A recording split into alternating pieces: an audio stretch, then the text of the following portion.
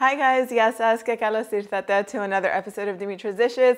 Today we're gonna slow cook lamb in the Instant Pot, but using the slow cooker feature.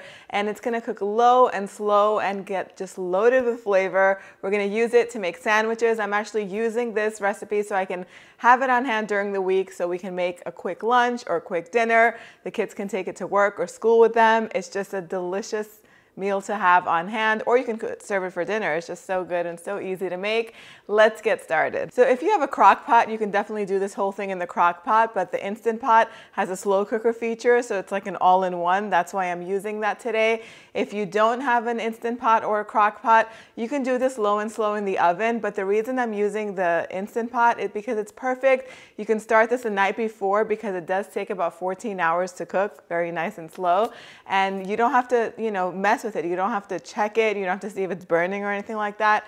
You just put everything in there and it cooks nice and slow right after you brown it. So the first step is to brown the lamb. I'm using a whole leg of lamb that's been cut into three portions. It is a lot of meat and it's also a big portion, might not fit in your Instant Pot if you have a smaller one. I think I have the eight quart Instant Pot, but um, you can just use half of it. If You can use a lamb shoulder if you want or just two of the pieces.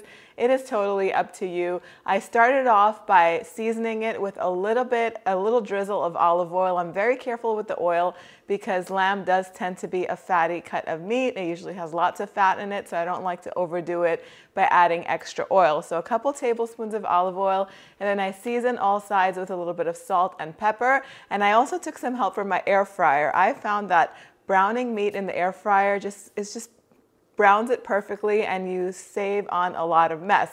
So I'm gonna use the Instant Pot and the air fryer to brown the lamb.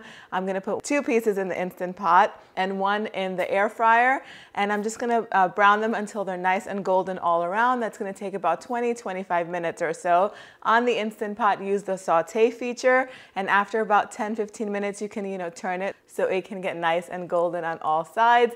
And with the air fryer, cook it for like 10 minutes, flip it over, and then brown it for another 10 minutes at 400 degrees Fahrenheit. Then you're just gonna wanna put everything in the Instant Pot if, if they fit. Otherwise, use as many portions of meat as you have that fit in your Instant Pot. I kinda moved it around and made it fit. Then I also juiced lots of lemons. You want lots of lemons in this recipe. I have about three quarters of a cup of lemon juice, but you could start off with half a cup if you don't want it too lemony. You can also substitute the lemon juice for some red wine vinegar. That works too. You just need a nice acid.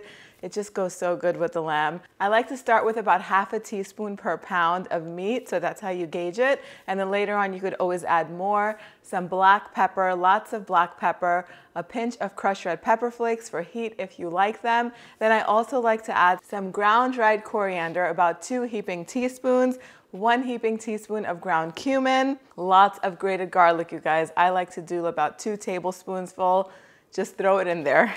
And then go ahead and add about two cups of water. I started with a little bit of water, then I ended up adding more later on.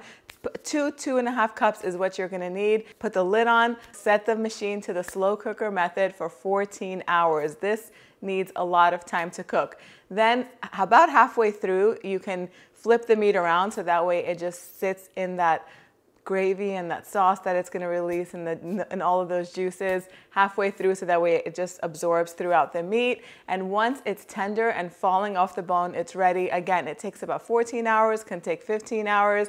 If you have less meat, it might take less. Just keep an eye on it. I like to start this the night before so it can cook slow and slow overnight.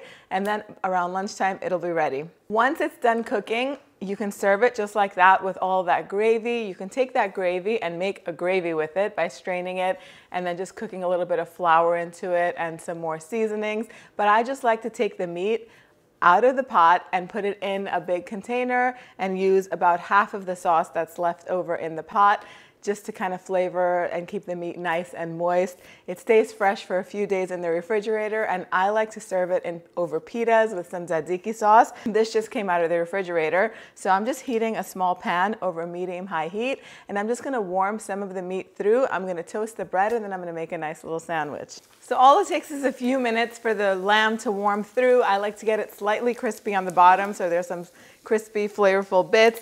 And then I toast some pita bread, put a nice big dollop of tzatziki on top, and then lots of the shredded lamb on top of that. What's missing from this, which I wish I had, were some pickled red onions or even any kind of pickles would go great in this. I think I have some pepperoncini in here that I'll put once I'm done with the taste test.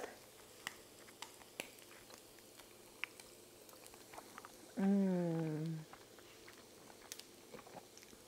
So much flavor. The lamb is very tender. You can taste the lemon in it and all those warm spices that it's slow cooked in. It really absorbed all of that flavor. Tzatziki is my favorite. Just give me a spoon and a big bowl. It'll be done in no time. Great over pita bread. But if you're keeping it a little healthier, you can put it over salad, over cauliflower rice, over Mediterranean rice pilaf. So many options. Let me know how you're serving it in the comment section down below. The exact measurements are always on the website, dimitrasdishes.com. If you want to learn how to make homemade pita bread, click over here and I'll see you right over there. Yes, S.